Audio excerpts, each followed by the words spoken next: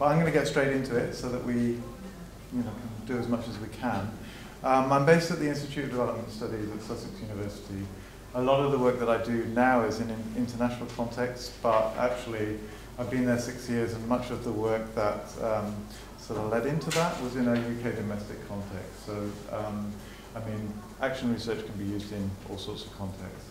I'm not going to go too far into the history of action research because there's a lot of history and a lot of the early thinking started in the 50s. Um, and there's been huge developments since then. So I'm going to talk quite a lot about concepts, the key under, underpinning principles, and then give some examples. The examples are going to be mostly around my work, so there's a whole terrain of other sorts of work which I can point you to later. Okay. Um, I think probably the first thing to say is that um, action research really fits within a tradition of participatory research. I mean, and there are multiple participatory research approaches, um, you know, which range from participatory statistics to uh, collective analysis processes to participatory network mapping, all sorts of stuff out there. Um, action research is one piece of that. Um, and I want really then to take you through, well, what does that, what does that actually mean and what does that actually look like? Um, a starting point is I think this is quite a nice quote. It comes from quite a recent text on participatory action research in health systems. Um, but it, essentially it's saying that what we're really trying to do is change the world. it's just something simple.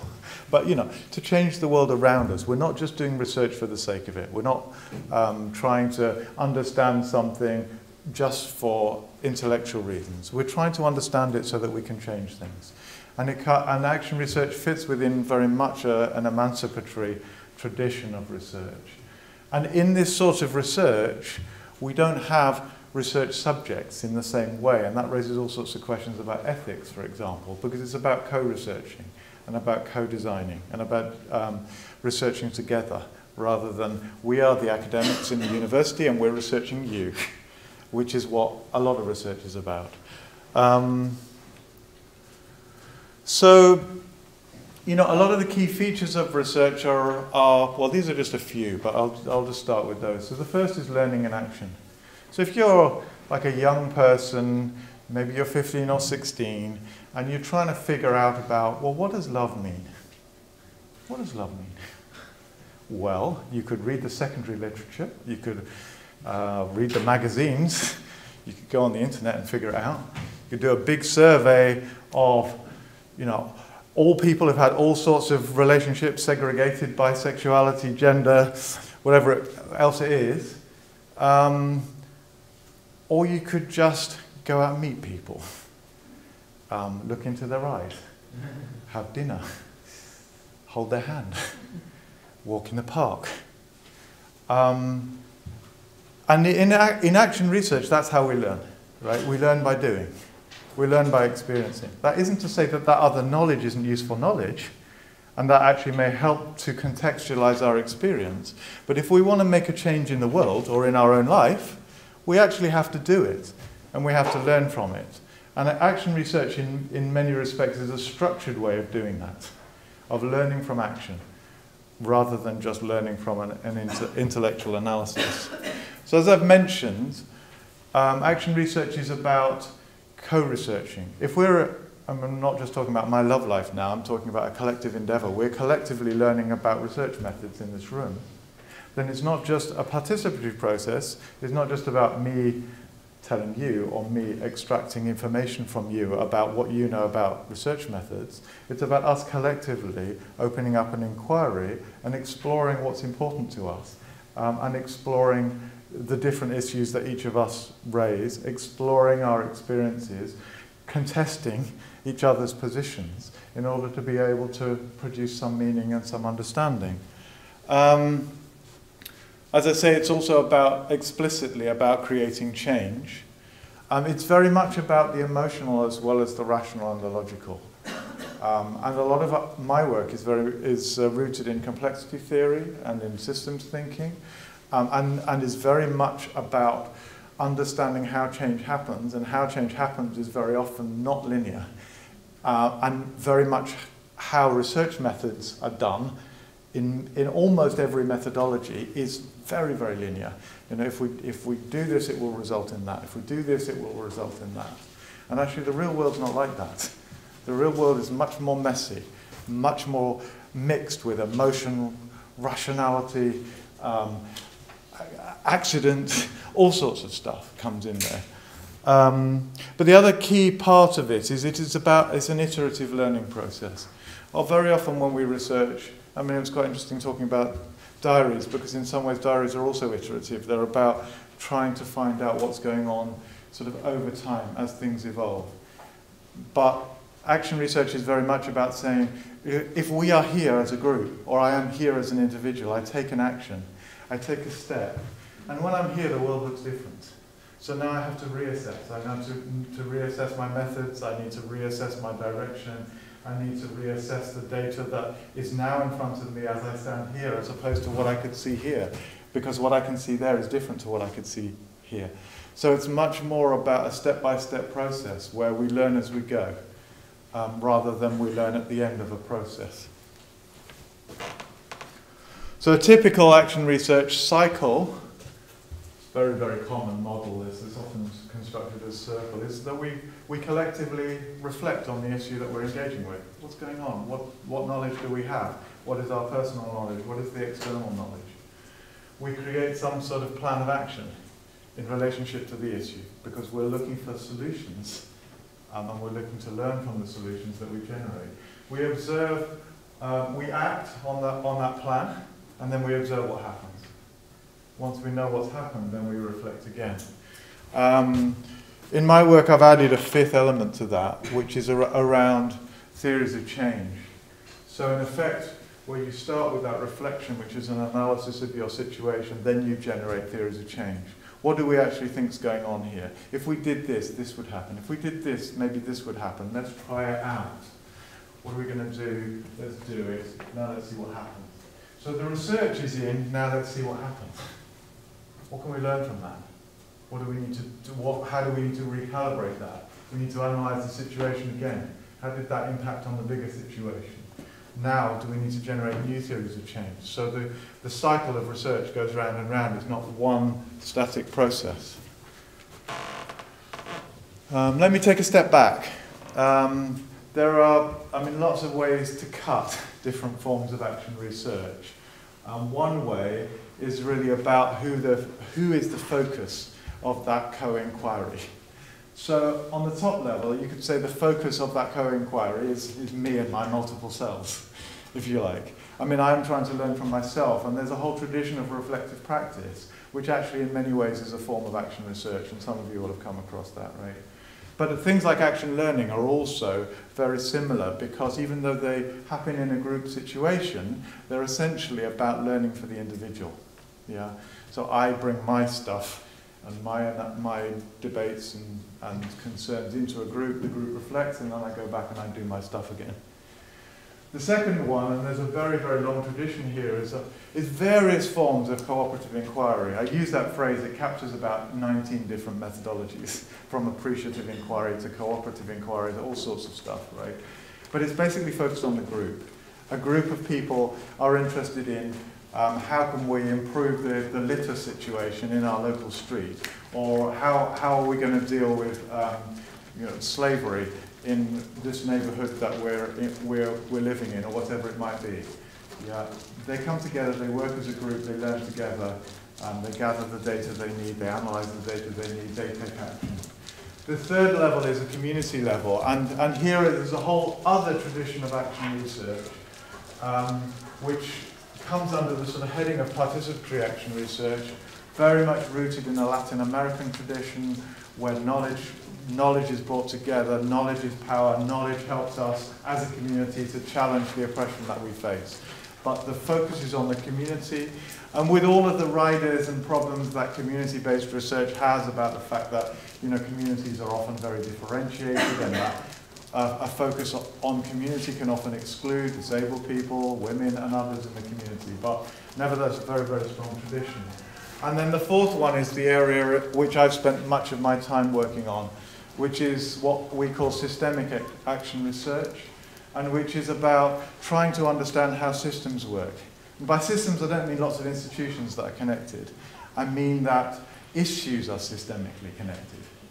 So to take an example, a couple of simple examples.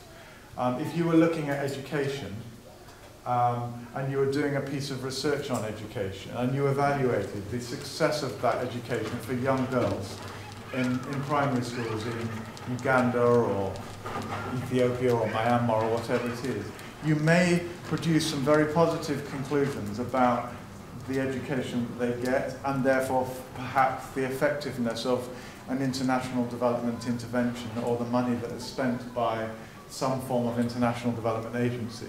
But if you don't take into account that every 14-year-old girl is going to get married at 14, um, you're not really understanding the bigger picture in which that education is, is situated. And to understand the impact of that intervention, you have to understand the wider picture. Um, and the same would go, and I'm going to talk about this in a minute, um, for some of the work that we've, we've been doing on slavery. Um, we're looking to understand the patterns and the dynamics that are happening, not just the thing. So um, I'm not going to go into this method because it's another method that goes with this, but just to give you an example of what I mean by a system dynamic. We uncovered through an analysis of something like um, 300 um, narratives with local NGOs and uh, slaves and people that are, are living in um, Uttar Pradesh and Bihar, um, a pattern. And the pattern is something like this, right? Um, you're living in a village. Uh, you have no money because you're a slave. Slaves don't have disposable income, right? So you've got maybe enough to eat, maybe not, right? You, you, you have a health crisis. Whatever the health crisis is, um, you have to borrow money. You can't borrow money from a bank or from a self-help uh, group, so you have to borrow it from the middleman. The middleman will sell you that money at 120% interest, right? You've got no money to pay that back. The only way you can pay it back is to sell your child into the city. Right? You sell your child into the city, they go and work in a tea shop or a bangle factory or whatever it is, and they get ill, right? Then you have to borrow more money. And then you send your second child into the city, Right? Now that's a pattern, that's a system dynamic which just repeats itself round and round and round. So when we're looking at systemic action research, we're looking at how you can disrupt that systemic pattern in order to be able to create change. So in order to do that, we have to be able to see the system. And that has major implications for the research methodology because you have to be able to work across the whole system rather than just working in one group. Yeah? So it's just an example. I'm not going to stop with these just because I want to get through lots of stuff. okay, one of the things I want to say is that we should see action research almost like as a meta methodology, which is a holding methodology. It's like a learning architecture or a research architecture into which multiple methods might be used. We can use diary methods within an action research context. You know, we can use participatory video, we can use dialogic processes, we can use future search, we've used participatory statistics because all of this is about generating data, right? And in an action research frame, we don't say, right, we're going to use this method. We're going to say, once we've taken this step here and we know where we are, now we need to figure out what we need to know, and then we need to figure out what method we need to get what it is that we need to know. When we've got to here, we actually might need a completely different method. So it's very much about attuning the method to what it is that you're trying to find out. Um, and as I say, we might need to use any of those things. If you're working in South Africa in a slum area and you're looking at um, security issues, you might want to use a, a, mapping technology to look at where all the violent incidents happen. Right? And then once you've got that, you've got the basis on which to have a dialogue about how you might change that and what you need to do about it. But equally, you might want to use a survey, but you might decide actually in dialogue that a survey is actually not going to get you the data you need. So the method, in terms of literally research method, is not the critical issue. It's, a, it's, the, it's the architecture that holds the methods that is what's, what's critical. Um, and I sort of just give you a sort of a representation of that here. So if you think about action research as an extended process of meetings punctuated by action, right? So those little black circles would be meetings. So there could be a meeting of a group that is dealing with that issue. For example, I was just discussing about health loans and their relationship to slavery, right? And then in the first, after the first meeting, uh, there's some action. But usually after the first meeting, the action is, well, actually, we don't have all the people we need to, to deal with this issue. Or we don't have the knowledge or the data we need, so let's go out and get some more stories, or let's go and do a participatory video exercise, or let's go and do whatever it is. And then we come back to the second meeting and we see where we're at, right? And then we still haven't quite got everything we need, and you know we're beginning to shape towards an analysis, but we actually need a bit more data, so we're going to get some more, and we'll get some more people in, and then we get to the third meeting. These might be, say, six weeks apart, or a month apart, or whatever, whatever the group feels that it needs. And then here you start to get to action, right? So what is it we're actually going to do? And so there's a constant interplay between action and the evaluation of action and then what do we need to do next? And it takes you around that cycle that we described earlier.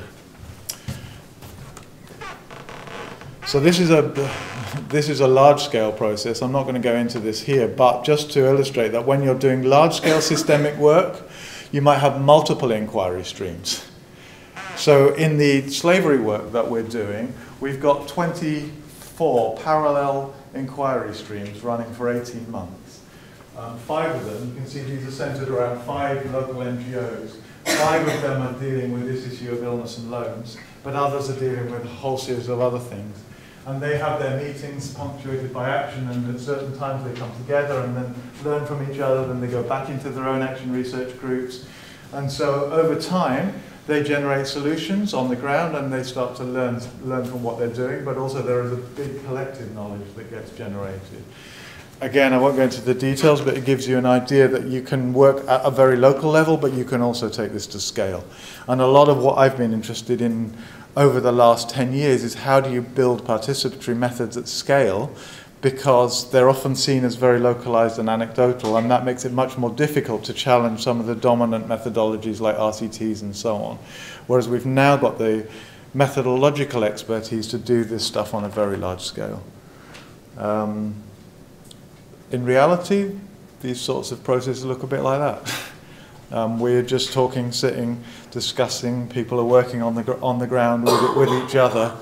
Um, one thing I would say, which is really important, and it, and it links into participatory research, is that our assumption is that anybody can do participatory research.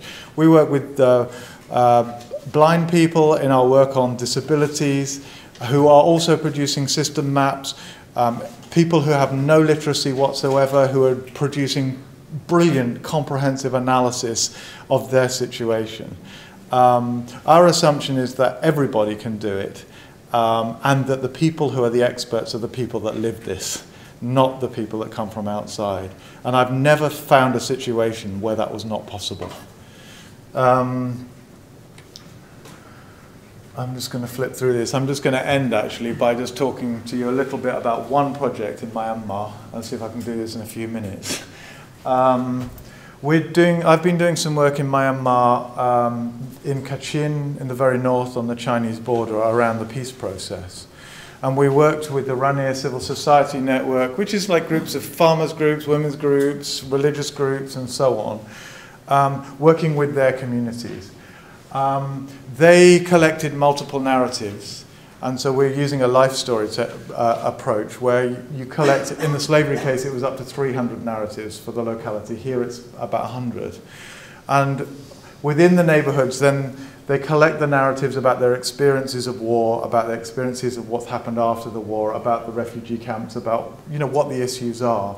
And out of those narratives, they build system maps. And the system maps are like causal maps which say this leads to that and that's leading to this and that one feeds back on this in the way that I was talking to you a, a bit with that mini example of the, the children going into the cities. But these are maps that are the size of this wall, literally, the whole of this wall, which uh, 20 or 30 people are, are drawing on and making the linkages and dialoguing as they go. Right? So they produce this map from all of these stories, and out of that map, they discern what it is that they want to work on. So in Kachin, they decided that they wanted to work on, on drugs because they had seen through the stories how the drugs were feeding the, the conflict. They wanted to work on the relationships between the IDP camps, internally displaced people, and their host communities. And they wanted to look at the issues about resettlement in a context where you've got the second highest level of, of landmines um, in the world, and in the drug context is the second highest level of opium production after Afghanistan in the world. So they're setting up their action research groups to investigate these things. Um, and I'm just going to give you a flavor of what they did. Um, one of the things they did was straight away was to create a multi-stakeholder groups locally. So, you know, you've got a context in which in some schools they've got 50 to 70% of heroin addicts. Um, so they got the kids from those schools in.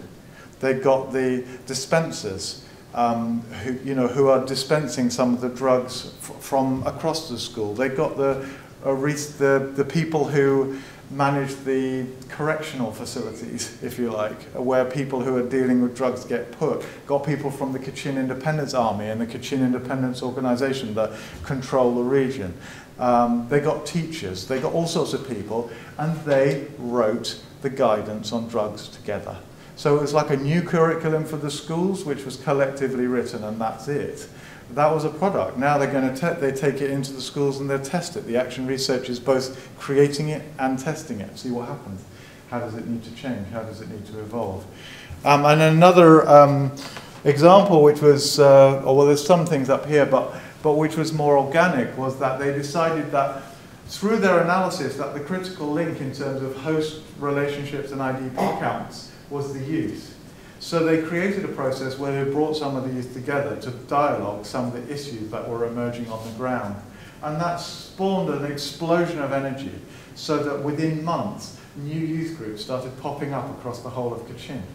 Um, and those youth groups are now starting to think of, to, to, to connect to the Kachin Independence Army, feed knowledge in, open up new spaces for dialogue, and then, and then in a sense, are laying the foundations to feed into a peace process, which is actually quite complex.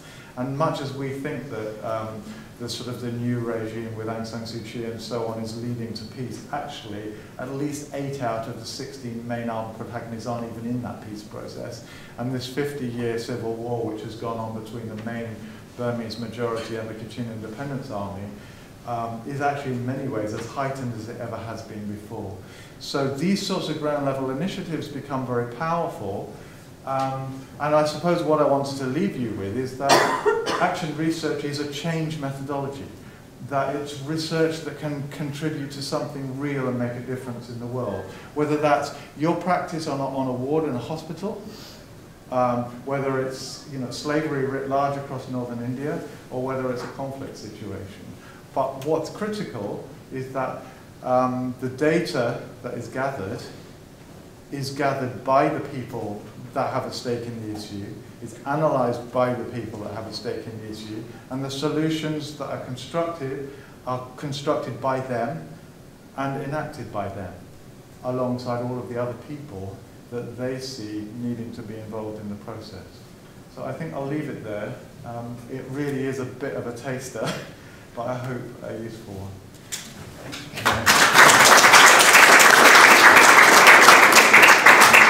Just on uh, the resources, I mean, these are a few of mine. Um, the other one, and that, that's, that one's got quite a lot on action research in an international development context. If you want a really big overview, uh, it costs a lot, but it's really worth it, is um, Hilary Bradbury and Peter Reason's Handbook of Action Research. Um, and if you want specialist ones, we do have a, a website at IDS, uh, which if you just type in IDS and then participatory methods, there's a participatory methods website which will give you pretty much all the resources that you need or directions to the resources that you need across the spectrum of participatory research, but also specifically around action research.